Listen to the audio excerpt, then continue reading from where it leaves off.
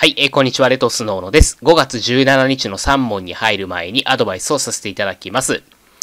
今日の成果は過去の努力の結果であり、未来はこれからの努力で決まる。これは京セラの創業者である稲森和夫さんの言葉です。どれくらい過去問が理解できるようになったのか。それは今日までの勉強の結果なんですね。もし今日過去問が理解できていなかったとしても、これからの努力次第で理解できるようになります。もちろん独学でも理解できるようになります。ただ、相当の努力が必要になります。他の人よりも調べる努力、他の人よりも考える努力、他の人よりも勉強時間を増やす努力。そこまでの努力はできない。他の人と同じくらいの努力しかできないというのであれば、ぜひ短期集中実用カップ講座をご活用ください。この短期集中実用カップ講座の教材には、調べなければならない内容は解説に入っています。なので、調べることも少ないです。考えなければならない内容も解説に入っています。だから考えることも少なくなります。まあ、上記のことから勉強時間も他の方と同じくらいで大丈夫です。実際この時期から全く法律知識ゼロで始めた方も去年、一昨年と合格していただいております。これから一から始める方であれば、毎日2時間以上。これまで勉強してきたという方は1時間半以上が目安になります。もし今年絶対合格したいというのであれば、まだ今からでも間に合いますので、一緒に勉強して今年の合格目指しましょう。短期講座についてはこの動画の下の概要欄に URL 貼っておきますので、ぜひご確認ください。それでは本日の3問に入ります。A の B に対する貸金債務について、債権者 B の承諾を得て、A 所有の建物を持って弁済した。この建物に契約の内容に適合しない歌詞があった場合、B は A に責任を追及することができる、丸か×かという問題です。考えたい方は動画一旦ストップしていただいて、この下の概要欄から問題文ご確認ください。え答えは、丸ですね。大仏弁済。これ大仏弁済契約とも言うんですけども、これは売買、売買契約のルールが使われます。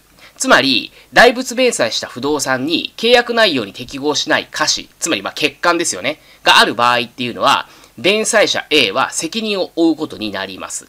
なので正しいということになります。まあこれはですね、それほど難しい内容ではありませんね。まあ昔は、あの、貸し担保責任と、えー呼ばれていた内容なんですけれども、まあ法改正があって、契約不適合責任って変わりましたね。で、まあ今回のポイントで言えば、大仏弁済も売買のルールが使われるよ。だから契約不適合責任の対象になるよっていうのが、まあポイントの一つなんですけれども、まあ重要なところで言えば、この契約不適合責任がどういったものなのかというところですね。まあ、これちょっと解説してると長くなりますので、この点については短期講座の受講者様のみお伝えさせていただきたいと思います。短期講座の受講者様は、受講者専用のメルマガから内容をご確認ください。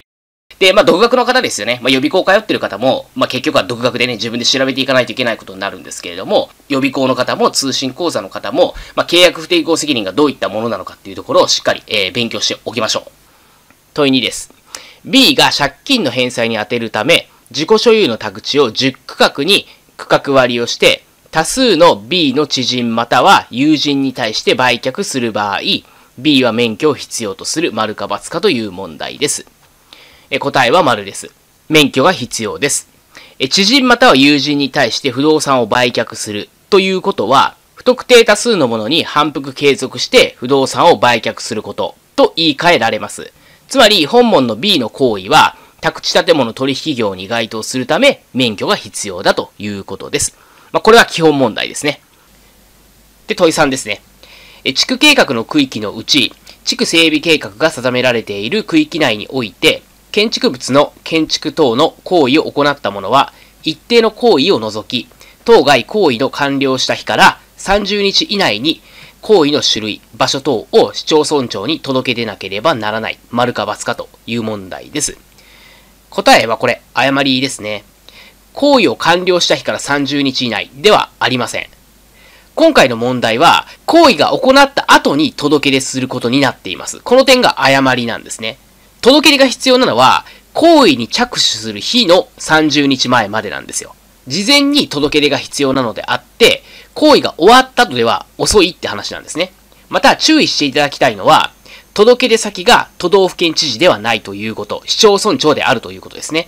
あと許可は不要だと、届け出でいいんだという、この2点は頭に入れておきましょう。で、地区計画については、ポイントを抑えられたら、これ得点できる部分なんですね。すごく得点源になる部分なんで、短期講座では、ポイントをまとめて解説しているので、え効率よく一気に学習できます。で、短期講座については、この動画の下の概要欄に URL 貼っておきますので、勉強しても頭に入らない、頭に定着しないという方は、ぜひご確認いただければと思います。今日も最後まで動画をご覧いただきましてありがとうございました。レトスの小野でした。